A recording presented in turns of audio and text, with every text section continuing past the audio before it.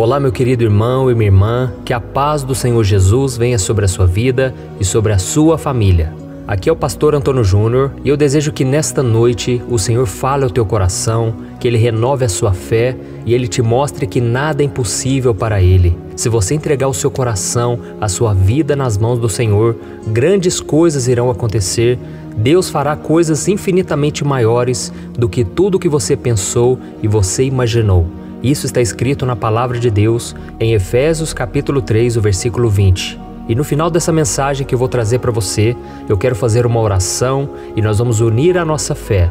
Deus vai agir em nosso favor. Amém? Mas antes de começarmos, já deixa aqui o seu like, isso ajuda o YouTube a divulgar para mais pessoas. Inscreva-se também no meu canal e ative o sininho para você ser avisado toda vez que eu colocar um vídeo novo eu tenho feito a oração da manhã todos os dias, às 5 horas da manhã, e à noite, às 8 horas da noite, eu tenho encerrado o dia junto com você e temos agradecido a Deus, temos buscado, clamado e temos adorado ao Senhor. E tem sido maravilhoso e eu quero muito que você participe dessa corrente de oração, tá bom? Então vamos começar com a mensagem de hoje. Me responda com sinceridade: você é uma pessoa de fé? Eu tenho certeza que a maioria de vocês respondeu que sim, e isso é muito bom. Grande parte das pessoas dizem que tem fé em Deus, mas será que essa fé que elas afirmam ter é a mesma que a Bíblia nos ensina a desenvolver? Quando lemos a palavra de Deus, percebemos que o homem que deu a maior prova de fé em toda a Bíblia foi Abraão, ao ponto dele ser considerado o pai da fé. Abraão não apenas demonstrou sua fé nos momentos de dificuldade, mas em todas as situações que ele viveu. Ele teve momentos de fraqueza, ele teve falhas, mas as suas atitudes mostravam que ele confiava na direção de Deus para sua vida, porque quando Deus disse a ele para sair da terra dos seus pais, da terra dos seus parentes e ir a uma terra desconhecida, Abraão foi sem questionar. E quando Deus prometeu que lhe daria uma descendência tão numerosa quanto a areia do mar e as estrelas do céu, Abraão também acreditou, apesar dele já ser idoso e da sua esposa também idosa, não poder ter filhos. E o momento mais dramático da vida de Abraão foi quando Deus pediu que ele sacrificasse o seu filho Isaque. É claro que ele ficou muito triste naquele momento porque o seu filho era a única coisa que ele tinha, ele era o filho da promessa, porque a sua descendência viria através de Isaque. Mas Abraão não questionou a Deus nem por um segundo, porque o seu amor e a sua fé no Senhor eram maiores do que o seu medo, do que as suas inseguranças e também maior do que o amor que ele sentia pelo seu próprio filho. Então vamos ver como era grande a sua confiança em Deus. A passagem que eu quero ler hoje está lá em Hebreus capítulo 11, o versículo 17 e 19. Diz assim: Pela fé, Abraão, quando Deus o pôs à prova, ofereceu Isaque como sacrifício. Aquele que havia recebido a promessa estava a ponto de sacrificar o seu único filho. Abraão levou em conta que Deus pode ressuscitar os mortos e, figuradamente, recebeu Isaque de volta dentre os mortos. Olha isso, irmãos, que interessante, né? Aqui mostra que Abraão, quando ele foi sacrificar o seu filho, o próprio Isaac perguntou ao pai: Pai, eu estou vendo aqui que tem a lenha, que tem o fogo, que tem tudo preparado para o sacrifício, mas cadê o sacrifício? E o seu pai disse: Deus proverá. E naquele monte foi chamado de Deus proverá, porque ali foi uma grande demonstração de fé. E no livro de Gálatas, capítulo 3, mostra que Deus pregou o evangelho para Abraão. Isso mesmo, Abraão foi a primeira pessoa a ouvir sobre o evangelho ou seja, a respeito do Filho de Deus que um dia se sacrificaria em nosso lugar e que Deus o ressuscitaria dentre os mortos. E depois que Abraão ouviu o evangelho da boca de Deus, Abraão teve uma fé tão grande que ele acreditou que mesmo que o seu filho Isaque morresse, Deus o ressuscitaria de alguma forma. Então Abraão foi o pai da fé porque ele confiou sem duvidar, então ele se encheu de fé e as Escrituras contam que na hora que Abraão foi sacrificar o seu filho, um anjo segurou a sua mão e não deixou ele matá-lo. E naquele mesmo instante, um anjo apontou um cordeiro que estava preso entre os galhos, e então Abraão pegou aquele cordeiro e sacrificou, representando ali que Jesus haveria de morrer pelos pecadores por todos nós. Jesus era o cumprimento da promessa de que Deus abençoaria o seu povo, Deus abençoaria todos aqueles que colocassem sua fé em Jesus. E ao longo do Novo Testamento, muitos homens e mulheres de Deus, eles também tinham essa fé de que Deus um dia providenciaria o sacrifício perfeito, o cordeiro que viria ao mundo. Isaías, Jeremias, Davi, muitos tiveram a revelação de que Jesus um dia viria. E o próprio Davi ele entendia que sacrifícios e holocaustos não agradavam a Deus, porque Deus não tem prazer na morte, mas Deus agradava sim de um coração arrependido, de um coração que reconhece que é pecador e que precisa de um Salvador. Então Davi tinha essa revelação, mas nenhum dos homens do Antigo Testamento teve uma revelação tão grande quanto Abraão. Abraão nos ensina que ter fé é estar disposto a abrir mão, até mesmo das coisas que o Senhor nos dá.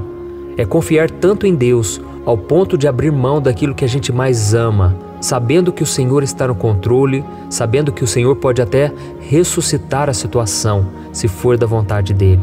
Então, meu querido irmão, você que está me ouvindo agora, você que talvez perdeu seus sonhos, você que talvez não tem esperança de dias melhores, renove a sua fé no Senhor, confie no caráter de Deus. Deus é bom, Deus é Pai. Se ele perceber que algo vai te prejudicar, ele não vai te dar. Amém? Então você precisa ter fé no Senhor o tempo todo, nos momentos alegres, nos momentos difíceis, e essa confiança não pode ficar só da boca para fora, ela tem que ser demonstrada através da sua obediência. Se você realmente ama o Senhor e o Senhor está te pedindo algo, entregue nas mãos dele, confiando que ele vai cuidar do seu futuro, tá certo? Eu me lembro que durante algumas vezes eu rompi relacionamentos, namoros que eu sabia que não era de Deus. E hoje eu estou casado com a minha esposa Thaís, somos muito felizes juntos, nos convivemos muito bem, temos dois filhos abençoados, mas hoje eu me lembro que durante muitas vezes eu tive que obedecer a Deus. Quando Deus me pediu para terminar um relacionamento, sabe, eu tive que tomar uma decisão de fé, não foi fácil, terminar namoro você sabe que não é fácil, mas valeu a pena, porque eu não queria me casar com uma pessoa que não viesse de Deus para mim. E Deus permitiu sim relacionamentos, mas não deram certo. E hoje eu consigo ver um propósito em tudo isso, mas naquela época eu não enxergava uma saída. Naquela época eu não sabia, porque eu estava dando um passo em direção a algo que eu não estava enxergando, eu não via uma saída, eu não via o que estava na minha frente. Mas hoje eu vejo quanto vale a pena esperar no Senhor e obedecer a sua voz. E se você ainda não tem certeza daquilo que Deus está te pedindo, daquilo que Deus exige e espera de você, busque mais o Senhor em oração. Peça ao Senhor para te dar um entendimento maior de qual é a vontade dele para a sua vida. Não se contente com migalhas, porque Deus tem o melhor para você. E às vezes a gente fica tão agarrado, né? Tão preso naquilo que a gente ama e a gente não quer abrir mão. Mas quando a gente faz isso em obediência a Deus, ele sempre honra a sua decisão. Amém? Então nós vamos fazer uma oração agora, nós vamos clamar ao Senhor e vamos confiar que lá na frente nós vamos ver que Deus fez o melhor por nós. Mas para isso nós precisamos tomar a decisão hoje, naquilo que for preciso. Precisamos abrir mão do pecado, da nossa vontade, ainda que pareça que estamos caminhando para a morte. Assim como Jesus, quando estava no Getsemane, ele até suou gotas de sangue, porque tamanha foi a sua aflição, porque ele sabia que iria enfrentar a morte, a separação de Deus, mas ele mesmo assim, ele disse: "Pai, contudo que não seja feita a minha vontade, mas a tua". E naquele momento, os anjos do Senhor vieram dar forças a ele, e ele então prosseguiu em direção à cruz.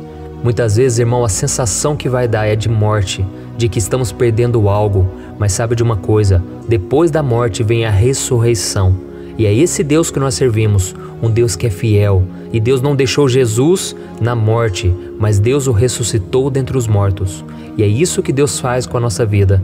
Depois da morte vem a ressurreição, vem a esperança de dias melhores, vem a restauração dos sonhos, da família, de tudo aquilo que é da vontade do Senhor para nós. Amém? Então feche os seus olhos e vamos orar. Pai, eu me coloco na tua presença nesta noite para te agradecer por mais um dia de vida que o Senhor nos proporcionou. Oh, meu Deus, eu quero te agradecer do fundo do meu coração pela vida desse irmão e dessa irmã que todos os dias me acompanham aqui. Oh, Deus, eu quero te agradecer por essa família tão grande, tão abençoada. O Senhor disse que Abraão seria pai de multidões. Oh, meu Pai, eu louvo ao Senhor por essa família da fé que estamos formando aqui dia após dia. Senhor, quantas vezes, Pai, nós duvidamos do Teu poder.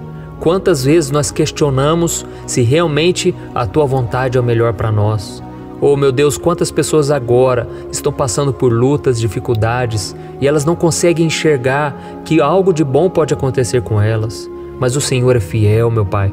O Senhor tem nos guardado, tem nos livrado das armadilhas do inimigo, tem nos sustentado no que for preciso e tem guiado os nossos passos.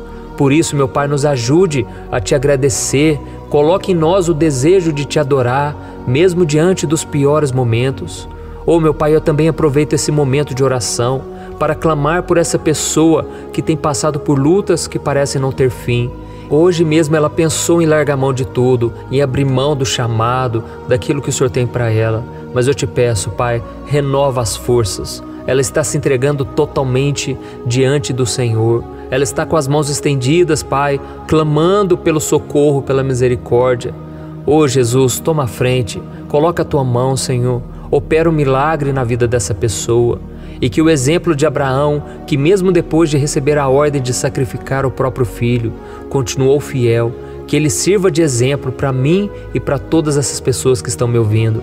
Toca, Senhor, no coração dessa pessoa, mostra para ela que ela precisa confiar na tua provisão, no teu cuidado, porque a tua palavra diz que o Senhor nunca nos abandonará, o Senhor sempre estará ao nosso lado. Oh, meu Deus, por isso nos ensine a nos alegrar em qualquer circunstância para que a gente nunca se esqueça de que tudo coopera para o nosso bem. Em nome de Jesus, meu Pai, que esta noite seja uma noite de descanso na alma, uma noite de fé e que quando a gente acordar amanhã, que a gente acorde animado, renovado, porque a tua palavra diz que as misericórdias do Senhor se renovam a cada manhã e elas são a causa de não sermos consumidos. Pai, que as tuas misericórdias repousem sobre a vida dos teus filhos é isso que eu profetizo, é isso que eu libero na vida dos meus irmãos. Que a mão do Senhor esteja sobre cada um de nós. Em nome de Jesus que eu oro e te agradeço. Amém. Glória a Deus. Oh, meus queridos irmãos, como é bom encerrar esta noite buscando ao Senhor junto com você. Então não deixe de ouvir, de continuar ouvindo a mensagem do Evangelho, não deixe de continuar orando junto comigo aqui. Essa corrente de oração tem cada dia crescido mais e eu não sei se você tem percebido, mas à tarde eu também tenho gravado mensagens, eu tenho entrado ao vivo, então fique sempre atento e por isso eu peço para você ativar esse sininho que está do lado do botão inscrever-se, porque esse sininho vai fazer com que você seja avisado pelo YouTube, tá bom? Que Deus abençoe, eu te espero no próximo vídeo. Um grande abraço.